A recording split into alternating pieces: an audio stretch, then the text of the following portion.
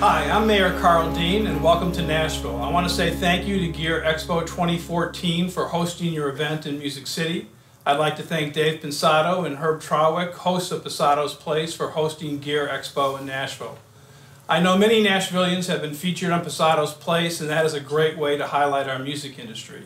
The music industry gives Nashville its edge and gives us its authenticity. Music and audio education are important to the Nashville music community. I appreciate that Gear Expo supports this philosophy by providing real world information on music and audio engineering. I hope you have a wonderful event today at Vintage King. Thank you. What a great way to start off an amazing event. As the show kicked off with the first round of panels, we headed into Vintage King to sit down with some of the featured guests to get their thoughts on Pensado's Place and the Nashville Gear Expo.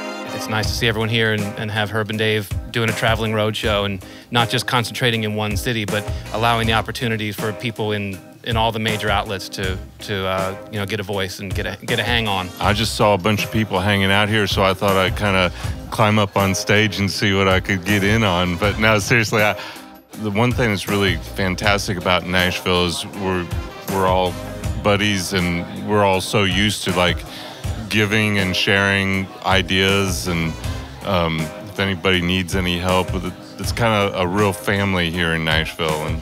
Uh, so this is a perfect place to put on the Gear Expo. This is a pretty cool thing. It's more than I expected. It's a lot of different people, uh, a lot of different uh, levels of uh, professionalism. Some we get some beginners here, and we got uh, the pro of the pros here, and um, it's, it's, a very cool event. It's a good opportunity for the community, and um, yeah, I've met some some uh, people, young young people that are getting started and they're you know shaking their hands and sort of giving them a few minutes to time just to sort of inspire them and inspires me. And that, you know that's what i'm enjoying about today. I like coming to these events to meet all the um, like up and coming dudes people who are like committed to this thing that are learning and want to ask us questions and um, find out more about what they're doing and find out about what we do and how we do it. We get to share the knowledge we learned from our mentors. I'm seeing that a lot of these guys here are, are older in age, and they're and basically they're real start. They're they're just starting as two, and I just wanted to be that example because I didn't get my first hit until I was 40 years old. So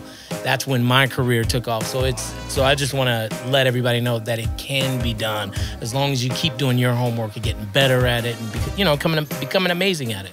I mean, I've met people in the audience that are from Puerto Rico, Germany. I mean, like all over the place. Um, and I think it's just it's a cool thing for Nashville to have this going on here. Um, it's it's really inspiring to see so many people interested in the audio and and with the hookup with Vintage King and all the quality products that they uh, support. Um, I think it's it's really it's cool to see people caring about what we do. I mean, all of three of us have given our lives to you know our passion and and it looks like there's another generation that's going to care that much as well. It's a great place to be. It's great that uh, that Herb and Dave care enough to come out here and and and see us in this great community, uh, and and it shows how influential they have been to uh, to bring all these people out for uh, for an event here. Listening to the the other members of the panel and the previous panel,